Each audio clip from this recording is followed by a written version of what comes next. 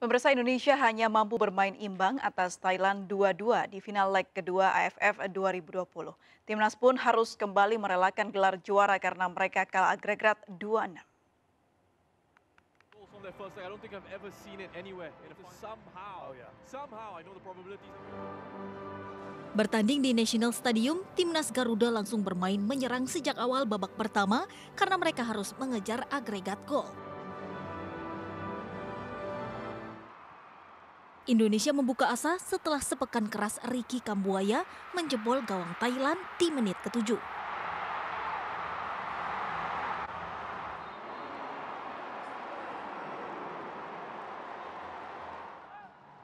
Setelahnya timnas bermain agresif untuk menambah gol. Sementara Thailand lebih bermain bertahan dan memanfaatkan serangan balik. Namun skor 1-0 bertahan hingga babak pertama berakhir. Di babak kedua Indonesia masih bermain menyerang. Namun di menit 54, Thailand berhasil samakan kedudukan lewat aksi Adisa Kraison.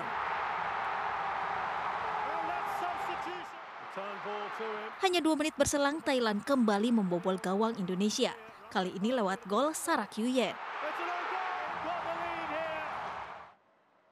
Setelahnya Indonesia tampak kewalahan menghadapi serangan balik Thailand, meski timnas kembali menciptakan sejumlah peluang.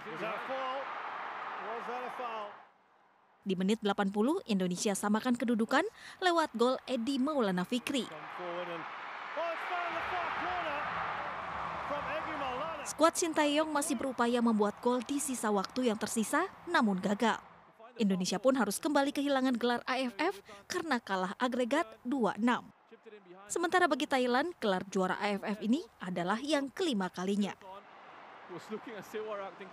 Ya, usai menuntaskan babak final Piala AFF 2020 Sabtu malam, pagi tadi tim nasional Indonesia kembali ke tanah air. Meski harus puas kembali menjadi runner-up, tim Garuda tetap membawa kebanggaan tersendiri. Kepulangan Asnawi Mangkualam Bahar dan kawan-kawan dilepas Duta Besar Indonesia untuk Singapura, Suryo Pratobo di Hotel Orchard, Singapura.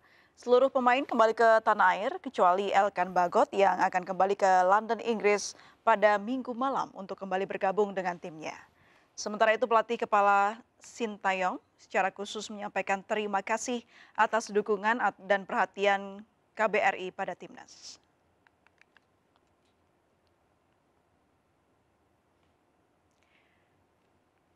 Meski gagal juara, timnas Garuda menjadi salah satu tim produktif di Piala FF 2020. Dan untuk membahas ini, kami telah terhubung dengan Abdul Haris, redaktur sportstar.id. Selamat sore, Mas Haris.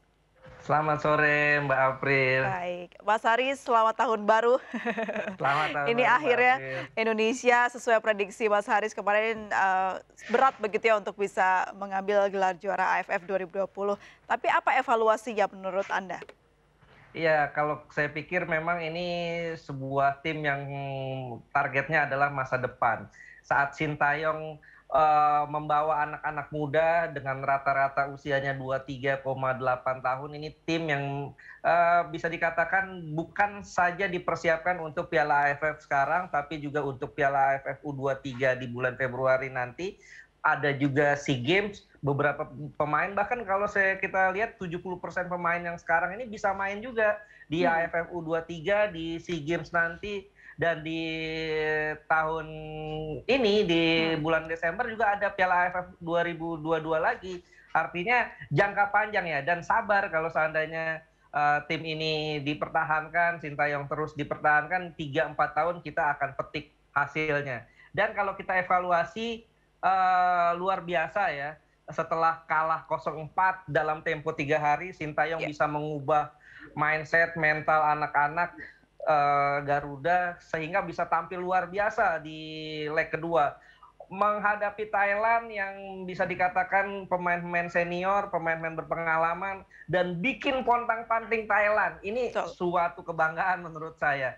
Tapi memang evaluasinya kita eh, di lini belakang bagus, tengah bagus, eh, depan striker kita tidak punya striker. Dari empat striker yang dibawa Ezra Walian, Hani Sagara, Kushedia Yudo, kemudian satu lagi Dedik. Dedik ini ini empat empatnya bisa dikatakan kurang maksimal ya. Artinya PR utama Sintayong adalah bagaimana membuat uh, di laga berikutnya di turnamen berikutnya striker ini sudah teratasi. Kita masih banyak striker-striker yang bisa dibawa.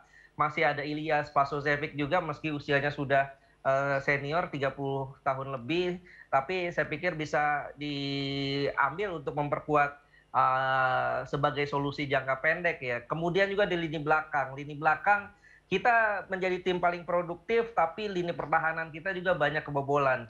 Artinya perlu lagi dipoles bagaimana lini belakang tidak terlalu mudah melakukan pelanggaran, tidak terlalu mudah ditembus oleh lawan.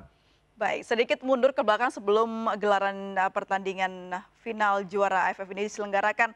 Ada kejadian yang cukup menguji mental para pemain, yaitu ada empat pemain yang tidak diperbolehkan yeah.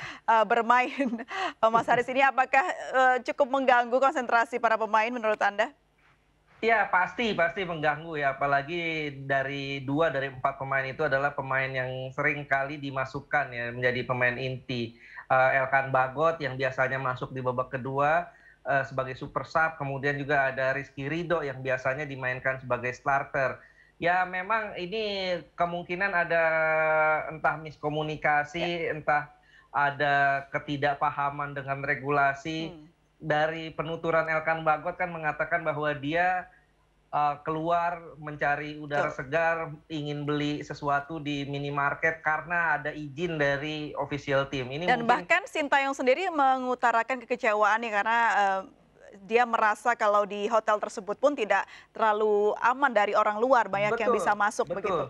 Betul, ini memang ada beberapa banyak hal yang sangat merugikan ya dari pemerintahan Singapura karena kita sistemnya sistem bubble tapi uh, tim nasional Indonesia berada satu lantai dan bisa berbaur dengan eh, orang-orang uh, apa namanya uh, customer hotel yang bukan melakukan sistem bubble. Ini artinya kan sama saja bohong gitu hmm, loh. Hmm. Dan itu tidak dipermasalahkan. Justru saat ada pemain kita yang keluar uh, mencari melewati sistem bubble itu, kita sudah didenda. Tapi di menit-menit akhir kita juga harus empat pemain itu harus disanksi tidak main di leg kedua ini suatu hal yang sangat-sangat merugikan. Sebelumnya Elkan Dakot juga harus di karantina karena berada hmm. satu pesawat dengan apa namanya suspek Omikron ya. Padahal kalau kita tahu di timnas Malaysia saat itu ada satu orang yang yeah. satu kamar dengan yang hmm. tertular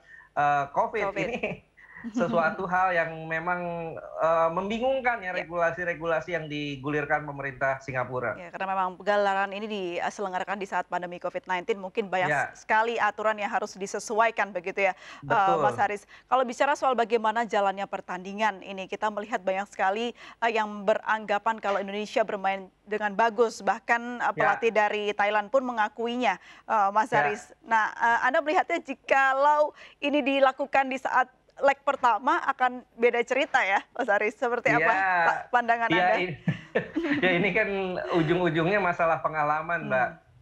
Thailand langsung bisa main seperti itu karena pemain-pemain mereka adalah pemain-pemain berpengalaman.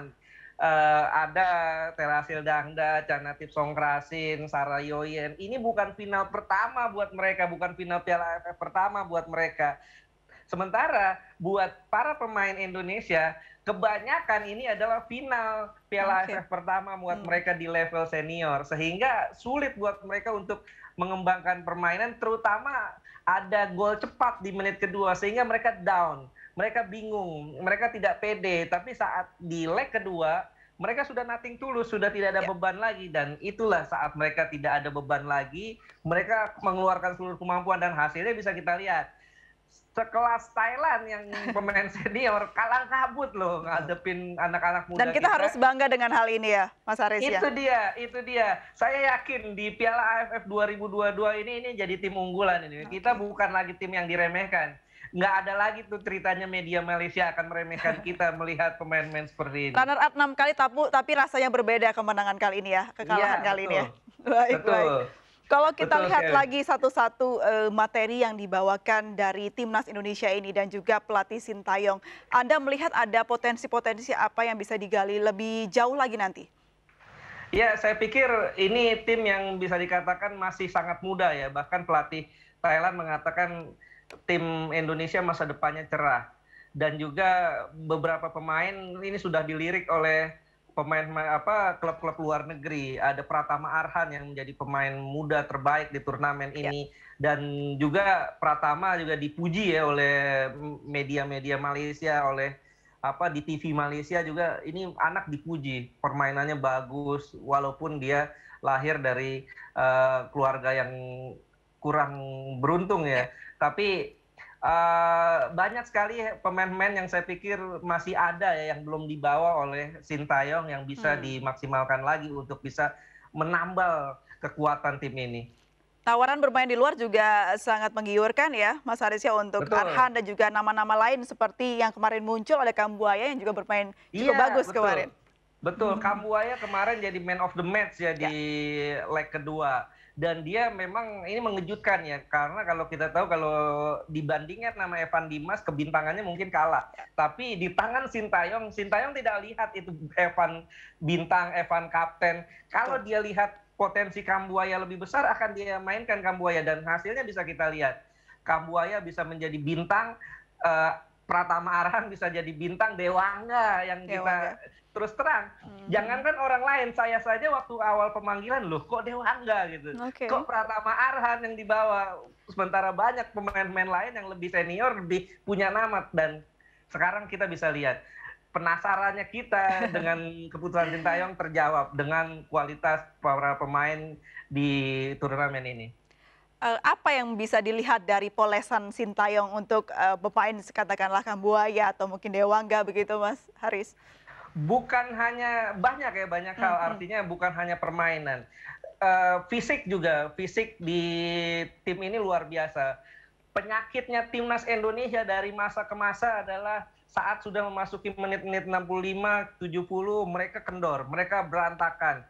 Uh, timnas di tangan Simon McManamy misalnya. Mereka bukannya main jelek mereka main bagus tapi hanya satu babak. Di babak kedua mereka kedodoran sehingga bisa jadi berbalik kalah ini tapi di tangan Sintayong tidak terjadi lagi. Sampai 90 menit performa tim stamina terjaga. Dan juga yang paling utama adalah mental. Mental bertanding ini luar biasa. Bayangkan setelah kita kalah 0-4 kok bisa dalam tempo tiga hari kita ya. Uh, mengimbangi ya. Thailand? Betul bikin atau mungkin Thailandnya Thailand. sudah meremehkan Mas Haris Iya, kalau kita lihat hmm. saat kita cetak gol di menit-menit awal itu itu Thailand pelatihnya Alexander Polking itu udah pusing ya. Mukanya hmm. sudah muka tegang gitu muka di tegang. menit awal bikin gol gitu loh.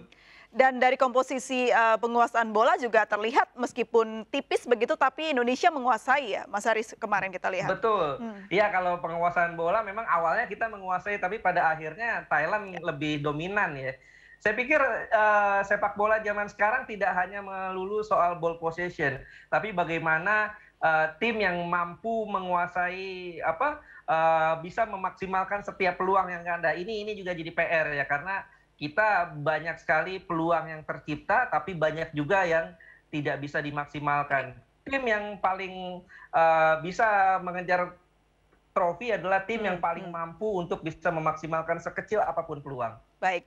Banyak juga yang berpendapat kalau leg pertama dan leg kedua di leg pertama Sintayong ini belum bisa membaca betul bagaimana cara bermainnya. Akhirnya menempatkan komposisi pemain yang kurang tepat. Tapi ini kita akan bahas usai jeda berikut. Mas Haris tetap bersama kami pemirsa ya. di MNC News.